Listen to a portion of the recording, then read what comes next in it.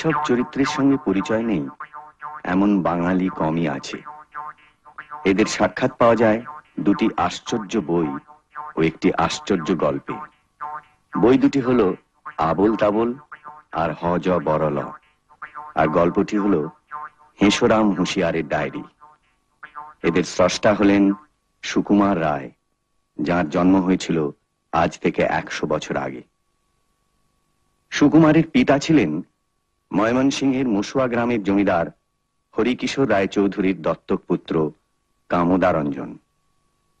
দত্তক নেবার পর কামদারঞ্জনের নাম হয় উপেন্দ্র কিশোর। উপেন্দ্র কিশোর ছিলেন পাঁচ ভাইয়ের এক ভাই। বড় ছিলেন শারদারঞ্জন তারপর উপেন্দ্র কিশোর, তারপর মুক্তিদারঞ্জন, চতুর্থ কুলদারঞ্জন ও পঞ্চম প্রমোদারঞ্জন। বড় ভাই শারদারঞ্জন ছিলেন সংস্কৃত ও গণিতে পণ্ডিত। তাঁর লেখা বই পাঠ্যপুস্তক হিসাবে ব্যবহার হতো। শারদারঞ্জন মেট্রোপলিটন কলেজের অধ্যক্ষ ছিলেন। এছাড়া তার আরেকটি পরিচয় ছিল, তিনি ছিলেন ভারতবর্ষের অন্যতম শ্রেষ্ঠ ক্রিকেট খেলোয়াড়। উপেন্দ্র কিশোর খেলোয়াড় ছিলেন না, কিন্তু তার মধ্যে নানান গুণের সমাবেশ ঘটেছিল। তিনি ছিলেন চিত্রকর, বৈজ্ঞানিক অনন্য শিশু সাহিত্যিক, সঙ্গীতজ্ঞ ও মুদ্রণ শিল্পে অগ্রণী গবেষক। উপেন্দ্র কিশোরী ছিলেন একমাত্র ভারতীয় যার লেখা প্রবন্ধ বিলাতের বিখ্যাত মুদ্রণ শিল্পের বার্ষিকী পেনরোজ অ্যানুয়ালে প্রকাশিত হতো। তার সঙ্গে উপেন্দ্র কিশোরের তোলা ছবিও থাকত। তৃতীয় ভাই মুক্তিদারঞ্জন গণিতজ্ঞ ও দুর্ধর্ষ খেলোয়াড় ছিলেন। তিনি মেট্রোপলিটন কলেজে অধ্যাপনা করতেন। কুলদারঞ্জনও ক্রিকেট খেলতেন। তাছাড়া তিনি দেশ বিদেশের পৌরাণিক কাহিনী ও বিখ্যাত ইংরাজি গল্পের কিশোর পাঠ্য অনুবাদ করে প্রসিদ্ধি লাভ করেছিলেন।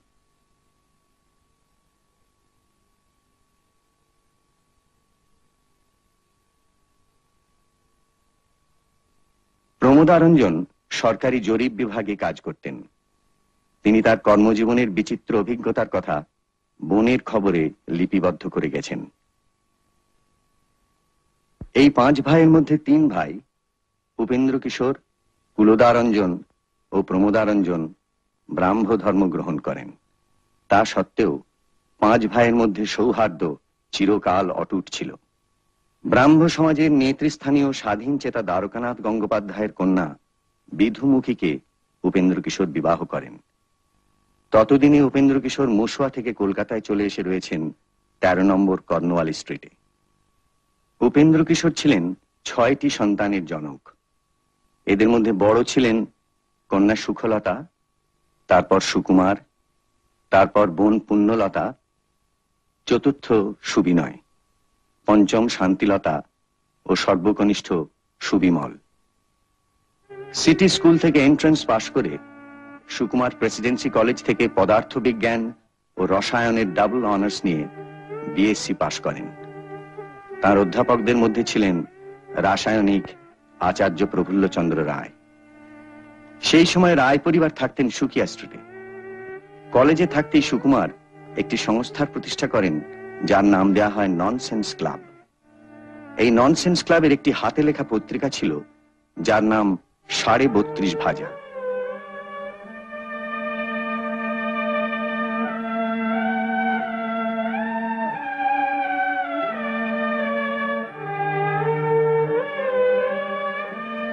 যে বিশেষ হাস্যরসের সঙ্গে সুকুমারের নাম অবিচ্ছেদ্যভাবে জড়িয়ে যায়, সেই খেয়াল রসের প্রথম প্রকাশ সাড়ে বত্রিশ ভাজার পাতাতেই।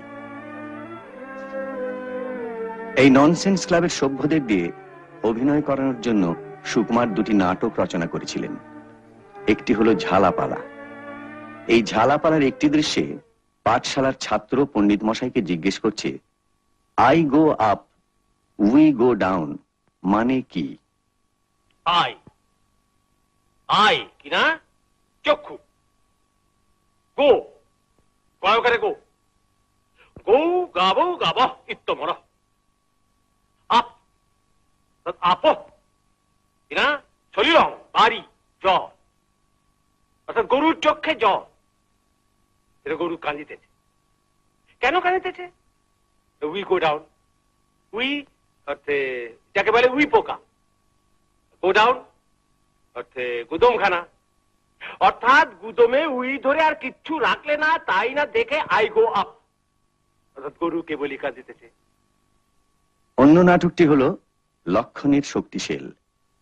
প্রথম দৃশ্যের ঘটনাস্থল হল লঙ্কায় রামের শিবির। পাত্ররা হলেন রাম, লক্ষণ, সুগ্রীব, বিভীষণ, জাম্বুবান ও পারিষদবর্গ। প্রথম বক্তা স্বয়ং রামচন্দ্র। কাল রাত্রিরে আমি একটা চমৎকার স্বপ্ন দেখেছি। দেখলাম কি? রাবণ বাটা একটা লম্বা তাল গাছে চড়ছে। চড়তে চড়তে হঠাৎ পা পিছলে একেবারে পপাত মমার তাহলে হয়তো রাবণ বেটা সত্যি সত্যি মরেছে রাজ স্বপ্ন মিথ্যে হয় না। হয় না। হবে না। হতে পারে না। আমি হনুমানকে বললুম চা বেটাকে সমুদ্রে ফেলে দেয়া হনুমান এসে বলল কি ফেলবারও দরকার হলো না সে একেবারে মরে গেছে। একদম মরে গেছে।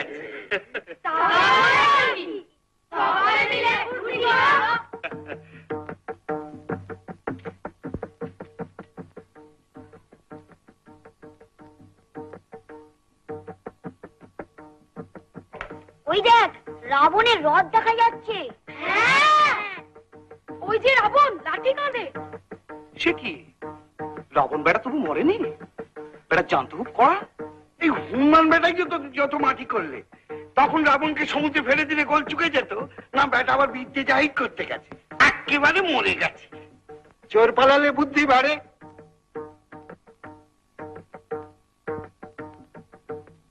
এ দুধ খবর কি? আগে আমি এইমাত্র আসছি। ব্যাস মস্ত খবর দিয়েছ আর কি। এই মাত্র আসছে। তো ফেলতে হবে। আজ কি ঘটলো না ঘটলো সব ভালো করে গুছিয়ে বলো। আগে আমি ছান টান সেরেই পুঁই শাক চচ্চড়ি আর কুমড়ো ছেচকি দিয়ে চারটি ভাত খেয়ে অমনি বেরিয়েছিল। যদিও পাজিতে আজকে কুষ্মাণ্ড ভক্ষ নিষেধ লিখেছে কিন্তু কি হলো জানেন তো? আমার কুমড়োটা পচে যাচ্ছে কিনা? বাজে বকিস কাজের কথা বল।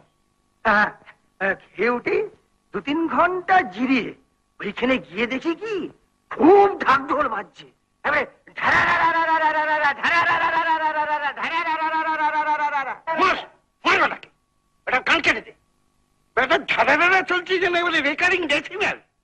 তুই ভালো করে ধারাবাহিক রূপে আত্মপান্ত পর্যায় পরম্পরা বলবি কিনা তারপর কি হলো শুনি তত কেম আসিছে রাবণ বাজে ঢক কঠোল মহাধূম ধাম মহাহট্ট গোল।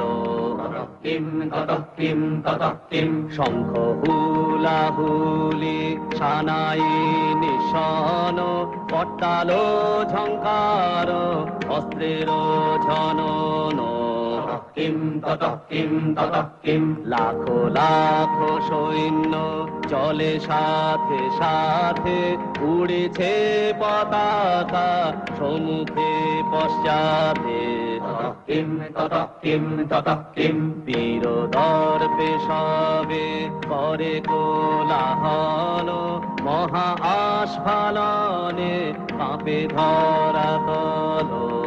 কিম তত কিম তত কিম তাহাদের রুদ্র দাপটের চোটে ভয়ে পান উড়ে দিলে চমকে ওঠে।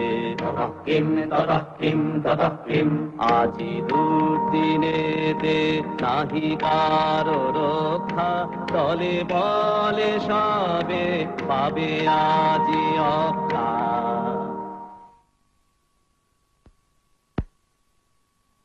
আঠারোশো পঁচানব্বই খ্রিস্টাব্দে উপেন্দ্র কিশোর তার নিজের নামে একটি মুদ্রণ প্রতিষ্ঠানের পত্তন করেন। পরে এই প্রতিষ্ঠানের নাম হয় U Ray and sons. Upendra Kishore নিজে কখনো বিদেশে যাননি, কিন্তু সুকুমার যাতে বিলেতে গিয়ে ফটোগ্রাফি ও মুদ্রণের কাজ শিখে আসতে পারে, এই বিষয়ে তার আগ্রহ ছিল। উনিশশো এগারো খ্রিস্টাব্দে তেইশ বছর বয়সে গুরু প্রসন্ন বৃত্তি নিয়ে সুকুমার ইংল্যান্ড যাত্রা করেন। তিনি প্রথমে লন্ডনে যান।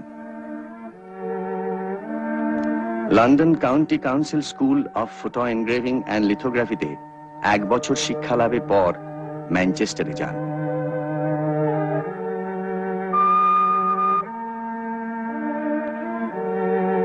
সেখানে মিউনিসিপ্যাল স্কুল অফ টেকনোলজিতে ক্রোমোলিথোগ্রাফি ও লিথো ড্রয়িং শিক্ষা করেন। বিলেত থেকে উপেন্দ্র কিশোরকে লেখা চিঠিতে তার কাজের বিস্তারিত বিবরণ পাওয়া যায়। উপেন্দ্র কিশোরের পুত্র হিসেবে তার শিক্ষার পথ যে অনেকটা সহজ হয়ে গিয়েছিল, এ খবরও চিঠিতে জানা যায়। এই সময়ই উনিশশো বারো সালে রবীন্দ্রনাথ গীতাঞ্জলির ইংরাজি অনুবাদ সঙ্গে করে লন্ডনে আসেন। রবীন্দ্রনাথ ছিলেন উপেন্দ্র কিশোরের সমসাময়িক ও বন্ধুস্থানীয় ইংল্যান্ডে তখন বাঙালি ছাত্রদের মধ্যে অনেকেই ছিলেন যারা রবীন্দ্রনাথের ভক্ত ও অনুরাগী। তার মধ্যে সুকুমার ছিলেন অন্যতম। এছাড়া ছিলেন রামানন্দ চট্টোপাধ্যায়ের জ্যেষ্ঠ পুত্র কেদারনাথ, আনন্দমোহন বসুর কনিষ্ঠ পুত্র অরবিন্দ, কালীমোহন ঘোষ ও প্রশান্ত চন্দ্র মহলানবিশ। সেই সময় সুকুমার একটি সভায় রবীন্দ্রনাথ সম্বন্ধে ইংরাজিতে একটি প্রবন্ধ পাঠ করেন। এই প্রবন্ধ বিলাতের বিখ্যাত কোয়েস্ট পত্রিকায় প্রকাশিত হয়। রবীন্দ্রনাথের কবি মানুষের সঙ্গে ইংরাজদের প্রথম পরিচয় ঘটিয়ে দেয় এই প্রবন্ধ।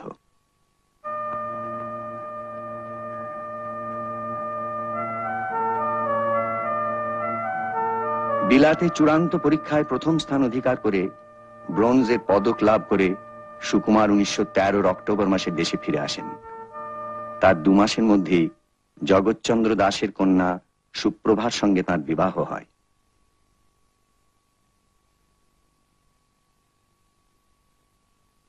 সুকুমার যখন বিলেতে, তখনই উপেন্দ্র কিশোর উনিশশো তেরোর বৈশাখে সন্দেশ নামে শিশুদের জন্য একটি মাসিক পত্রিকার পত্তন করেন। সন্দেশের আগেই উপেন্দ্র কিশোর মহাভারত ও রামায়ণের শিশু পাঠ্য সংস্করণ ও বাংলার উপকথার সংকলন টুনটুনির বই প্রকাশ করে শিশু সাহিত্যিক ও চিত্রকর হিসেবে বিপুল খ্যাতি অর্জন করেছিলেন। উনিশশো চোদ্দ সালে উপেন্দ্র কিশোর সুকিয়া স্ট্রিট থেকে একশো নম্বর গড়পার রোডে সপরিবারে তার নিজের বাড়িতে উঠে আসেন। এই বাড়ির সামনের অংশে ছিল মুদ্রণ কার্যের যাবতীয় ব্যবস্থা আর পিছনের দক্ষিণ অংশে ছিল বসত বাটি। দুঃখের বিষয়, সন্দেশ প্রকাশের দু বছরের মধ্যেই উপেন্দ্র কিশোর পরলোক গমন করেন। কিন্তু এই দু বছরে তিনি সন্দেশকে ছবি, গল্পে ও প্রবন্ধে ভরপুর করে রেখেছিলেন।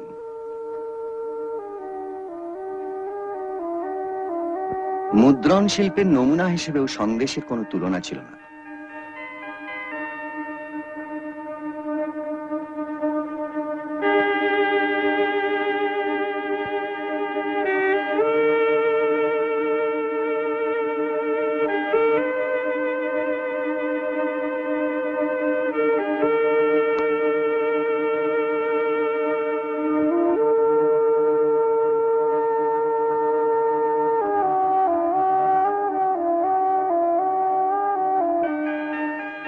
পিতার মৃত্যুর পর সন্দেশের সমস্ত ভার সুকুমার গ্রহণ করেন। সন্দেশের জন্য সুকুমারের প্রথম রচনা ছিল খিচুড়ি, যা পরে আবল তাবলে স্থান পায়। এরকম ছড়া এবং তার সঙ্গে এমন ছবি একমাত্র সুকুমারের পক্ষে সম্ভব ছিল। হাঁস ছিল সজারু, ব্যাকরণ মানি না হয়ে গেল হাঁসো জারু, কেমন এটা জানি না। বক কহে কচ্ছপে বাহবাকি ফুর্তি? অতি খাসা আমাদের বকচ্ছপ মূর্তি। টিয়ামুখ গিরগিটি মনে ভারী শঙ্কা, পোকা ছেড়ে শেষে কি গো খাবে কাঁচা লঙ্কা? ছাগলের পেটে ছিল না জানি কি ফন্দি, চাপিল বিছার ঘাড়ে ধরে মুড়ো সন্ধি। জিরাফের স্বাদ নাই মাঠে ঘাটে ঘুরিতে, হরিণের ঢং ধরি সেও চাই উড়িতে। গরু বলে আমারেও ধরিল কি ওরোগে মোর পিছে লাগে কেন হতভাগা মোরগে হাতিমির দশা দেখো তিনি ভাবে জলে যাই হাতি বলে, এই বেলা জঙ্গলে চলো ভাই। সিংহের সিং নেই, এই তার কষ্ট। হরিণের সাথে মিলে সিং হলো স্পষ্ট।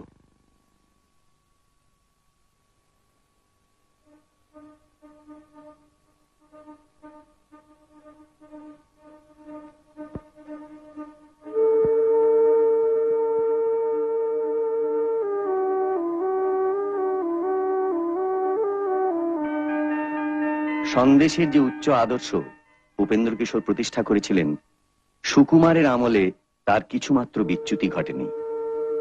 সুকুমারের বড় বোন সুখলতা, মেজ বোন পুণ্যলতা, মেজ ভাই সুবিনয়, ছোট বোন শান্তিলতা ও কাকা কুলদারঞ্জন সকলেই সুকুমারের পাশে এসে দাঁড়ান। এছাড়া অন্য নামী লেখকও সন্দেশের জন্য লিখেছেন।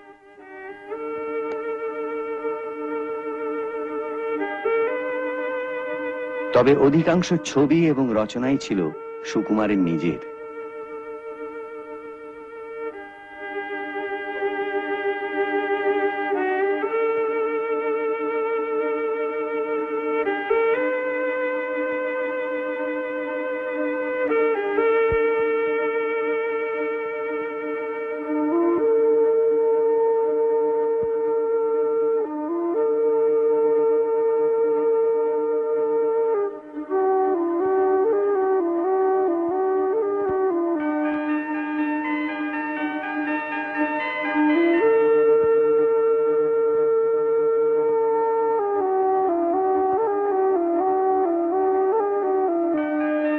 সুকুমারের যে কত বিষয়ে কৌতূহল ছিল, তার নমুনা পাওয়া যায় একটি খেরোর খাতায়, যার সাত রকম নামকরণ করেছিলেন সুকুমার।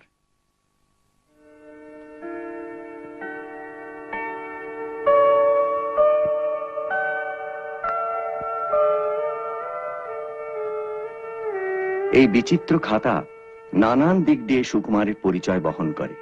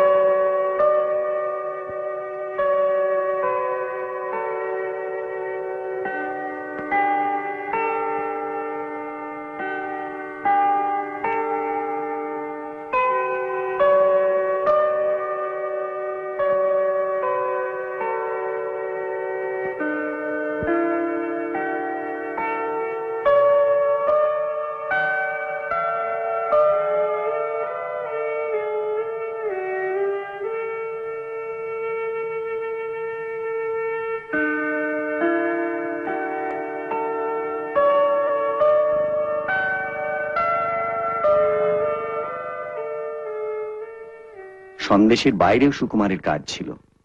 প্রথমত, তিনি ছিলেন সাধারণ ব্রাহ্ম সমাজের যুব সমিতির সংগঠক ও মধ্যমণি স্বরূপ।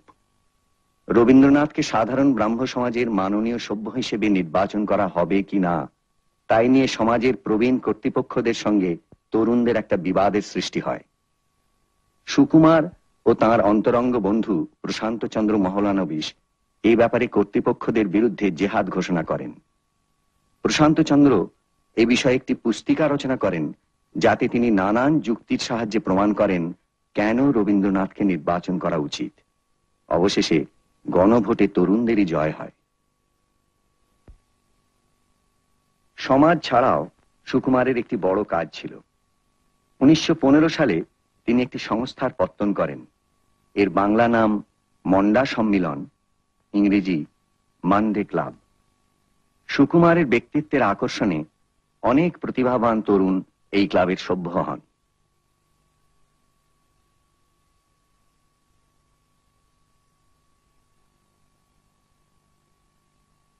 এদের মধ্যে উল্লেখযোগ্য কবি সত্যেন্দ্রনাথ দত্ত, অজিত কুমার চক্রবর্তী, অতুল প্রসাদ সেন, সুনীতি কুমার চট্টোপাধ্যায়, কালিদাস নাগ, প্রশান্ত চন্দ্র মহলানবিশ, হিরণ কুমার সান্যাল ইত্যাদি। এই ক্লাবের আমন্ত্রণ পত্র সুকুমার নিজেই রচনা করতেন এবং ছাপা হতো ইউ রায় অ্যান্ড সনসে।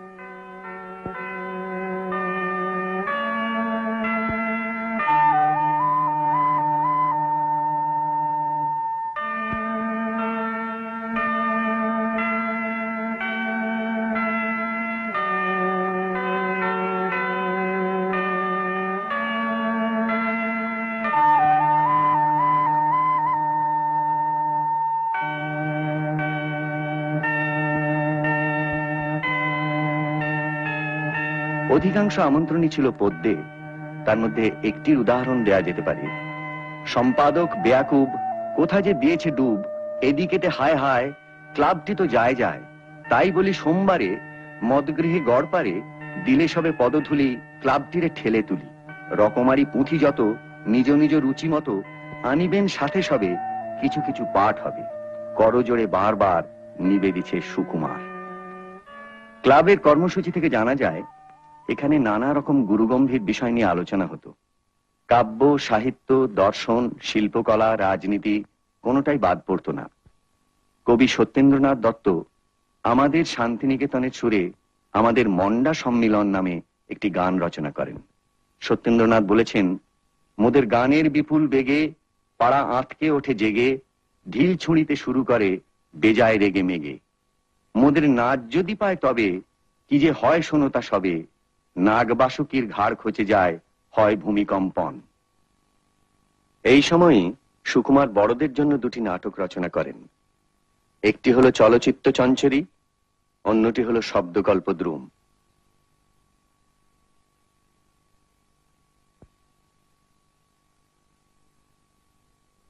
উনিশশো একুশ সালে সুকুমারের যখন তেত্রিশ বছর বয়স, তখন তিনি হঠাৎ অসুস্থ হয়ে পড়েন। ডাক্তার রোগ নির্ণয় করে বোঝেন, কালা জ্বর। সেই বছরই সুপ্রভার একটি পুত্র সন্তান জন্মায়, যার নামকরণ হয় সত্যজিৎ। সুকুমার এই অসুখের মধ্যেই সন্দেশের জন্য লেখা এবং আঁকার কাজ চালিয়ে যান। হজ বরল এই সময়েরই রচনা।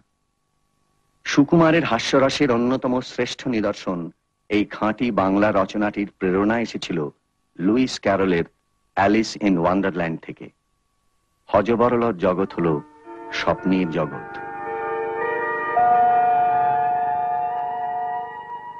তোমার ওজন কত? জানি না।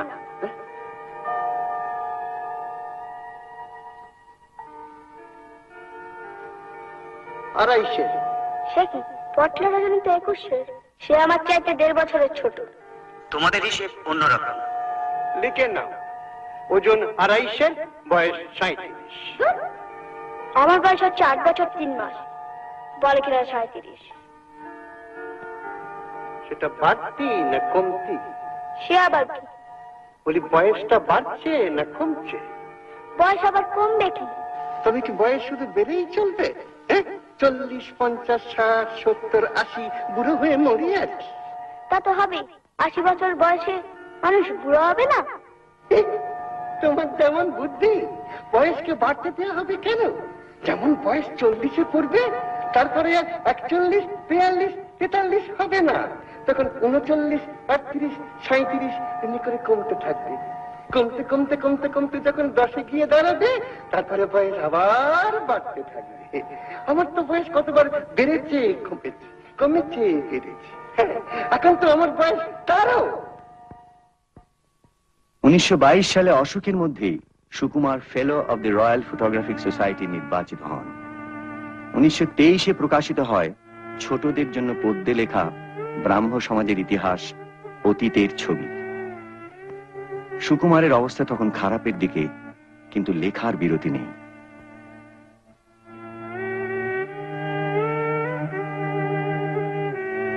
মুদ্রণ শিল্প সম্বন্ধে নোট লেখা চলেছে।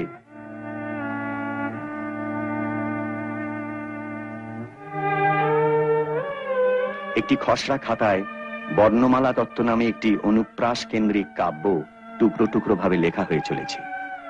পদ্যে মহাভারত লিখতে শুরু করেছেন ছেলেদের জন্য। একবার সোদপুরে হাওয়া বদল করতে গিয়ে সূর্যাস্তে গঙ্গার একটি রঙিন ছবি এঁকেছেন। হজবরল বই আগেই বেরিয়েছে। আবল তাবলের জন্য একটি দামি কপি করেছেন, যার থেকে বইয়ের চেহারা কীরকম হবে তার একটি আন্দাজ পাওয়া যায়।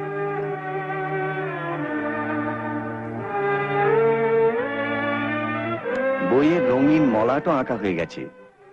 ছাপা অবস্থায় আবল তাবল সুকুমার দেখে যেতে পারেননি। আবল তাবলের শেষ কবিতায় তিনি স্পষ্টই বুঝিয়ে দিয়েছিলেন যে তিনি আর বেশি দিন ইহজগতে নেই। এতে তিনি বলেছেন আজকে দাদা যাবার আগে বলব যামর চিত্তে লাগে নাই বা তাহার অর্থ হোক নাই বা বুঝুক বেবাক লোক। আপনাকে আজ আপন হতে ভাসিয়ে দিলাম খেয়াল স্রোতে, ছুটলে কথা থামায় কে, আজকে ঠেকায় আমায় কে। আর শেষ দুটি পংক্তি হলো, ঘনিয়ে এলো ঘুমের ঘোর, গানের পালা সাঙ্গ মোর। সুকুমারের রোগের শেষ পর্যায়ে রবীন্দ্রনাথ তাকে দেখতে এসে গান শুনিয়ে গিয়েছিলেন। উনিশশো তেইশের দশই সেপ্টেম্বর কলকাতায় ভূমিকম্প হয়। সেই দিনই সকালে আড়াই বছর কঠিন রোগের সঙ্গে সংগ্রাম করে ছত্রিশ বছর বয়সে সুকুমার শেষ নিঃশ্বাস ত্যাগ করেন।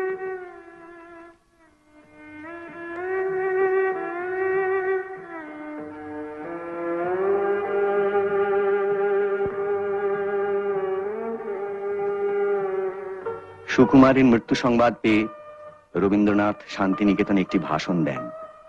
তাতে তিনি বলেন, আমি অনেক মৃত্যু দেখেছি, কিন্তু এই অল্প বয়স্ক যুবকের মতো অল্পকালের আয়ুটিকে নিয়ে মৃত্যুর সামনে দাঁড়িয়ে এমন নিষ্ঠার সঙ্গে অমৃতময় পুরুষকে অর্ঘ্যদান করতে প্রায় আর কাউকে দেখিনি।